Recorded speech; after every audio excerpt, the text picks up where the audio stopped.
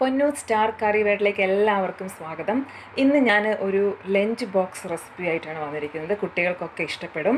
നമുക്ക് സ്കൂളിലൊക്കെ ലഞ്ച് ബോക്സിന് കൊടുത്തു വിടാൻ പറ്റുന്ന ഒരു നല്ലൊരു റെസിപ്പിയാണ്. ഹെൽത്തിയായ ഒരു റെസിപ്പിയാണിത്. ചാനൽ കാണുന്നവർ നിങ്ങളുടെ ഫ്രണ്ട്സിനും റിലേറ്റീവ്സിനും കൂടെ ഷെയർ ചെയ്യുക. ആദ്യമായിട്ട് കാണുന്നവരാണെങ്കിൽ സബ്സ്ക്രൈബ് ചെയ്യുക ഷെയർ ചെയ്യുക. അതോടൊപ്പം തന്നെ തൊട്ടടുത്ത് കാണുന്ന ബെൽ ബട്ടണും കൂടെ പ്രസ് ചെയ്യുക. അപ്പോൾ ഞാൻ ചെയ്യുന്ന എല്ലാ റെസിപ്പീസിന്റെയും നോട്ടിഫിക്കേഷൻ നിങ്ങൾക്ക് കിട്ടുന്നതായിരിക്കും. അപ്പോൾ ഈ ഇതിനാവശ്യമായ ഇൻഗ്രീഡിയൻസ് എന്തെല്ലാം നോക്കാം. ഇൻഗ്രീഡിയൻസ് ഞാനൊരു ബൗളിൽ കുറച്ച് ചിക്കൻ എടുത്തിട്ടുണ്ട്. അതേപോലെ തന്നെ രണ്ട് കൂണ് ഞാൻ ചെറുതായി അരിഞ്ഞെടുത്തിട്ടുണ്ട്. വളരെ കുറച്ച് ക്യാരറ്റ് ഇതുപോലെ ചെറുതായി അരിഞ്ഞെടുത്തിട്ടുണ്ട്. പിന്നെ ഒരു അര ഗ്ലാസ് ജീരകശാല അരി എടുത്തിട്ടുണ്ട് അതേപോലെ തന്നെ ഒരു അര ടീസ്പൂൺ മഞ്ഞൾപ്പൊടി അര ടീസ്പൂൺ കുരുമുളക് പൊടി. ഇത് രണ്ടും നിങ്ങൾക്ക് അളവ് കൂട്ടിയെടുക്കാവുന്നതാണ്. കുരുമുളക് പൊടി ആണെങ്കിൽ ഒരു ടീസ്പൂൺ എടുക്കാം. കുട്ടികൾക്കായതുകൊണ്ടാണ് ഞാൻ അര ടീസ്പൂൺ എടുത്തിരിക്കുന്നത്. പിന്നെ അണ്ടിപ്പരിപ്പും ഉണക്കമുന്തിരിയും ഉണ്ട് അതും അളവ് കൂടുതൽ വേണമെങ്കിൽ എടുക്കാം. പിന്നെ ഒലീവ് ഓയിൽ പാകത്തിന് ഉപ്പ്. ഇത്രയാണ് നമുക്ക് ആവശ്യം. ഇനി എന്തെല്ലാം ചെയ്യേണ്ടത് നോക്കാം.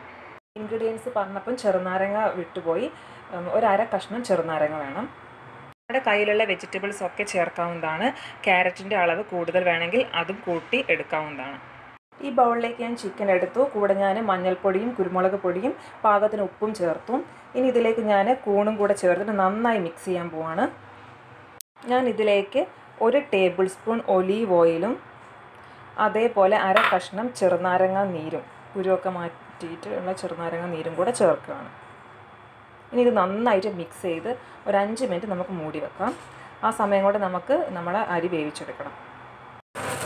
പാത്രം ചൂടായപ്പോൾ ഞാൻ ഒരു ടേബിൾ സ്പൂൺ ഒലീവ് ഓയിൽ ചേർത്തു. അതിനുശേഷം ഞാൻ കഴുകി വൃത്തിയാക്കി വെച്ചിരിക്കുന്ന അരി ഇതിലേക്ക് ഇട്ടു ഒന്ന് വറുത്ത് കൊടുക്കുകയാണ് ഇപ്പോൾ തീ നന്നായി കുറച്ച് വെക്കുക. രണ്ട് ടേബിൾ സ്പൂൺ ഒലീവ് ഓയിൽ വരെ ചേർത്ത് കൊടുക്കാവുന്നതാണ്.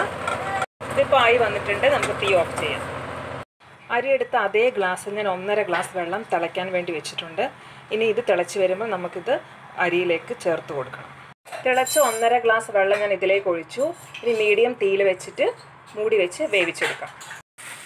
പാൻ ചൂടായപ്പം ഞാൻ ഇതിലേക്ക് ഒരു ടേബിൾ സ്പൂൺ ഒലീവ് ഓയിൽ ചേർത്തു. പിന്നെ ചിക്കനും കൂണും നമ്മൾ നേരത്തെ മിക്സ് ചെയ്ത് വെച്ച് അതും ഇട്ടു.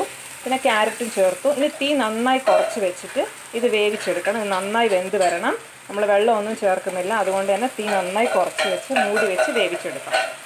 ചോറ് ഇവിടെ റെഡി ആയിട്ടുണ്ട്. ഇത് റെഡി ആയിട്ടുണ്ട്. ഇതിലേക്ക് ഞാൻ കുറച്ച് അണ്ടിപ്പരിപ്പും കുറച്ച് ഉണക്കമുന്തിരിയും കൂടെ ചേർക്കുകയാണ്. അണ്ടിപ്പരിപ്പ് ഞാൻ ചെറുതായിട്ട് അരിഞ്ഞിട്ടുണ്ട്. ഇതിന്റെ കൂടെ നമുക്ക് ചോറും കൂടെ ചേർത്ത് കൊടുക്കാം. നമ്മുടെ ചോറ് ഇവിടെ റെഡി ആയിട്ടുണ്ട്. എല്ലാവരും ട്രൈ ചെയ്ത് നോക്കണം. ഷെയർ ചെയ്യുകയും സബ്സ്ക്രൈബ് ചെയ്യുകയും വേണം. താങ്ക്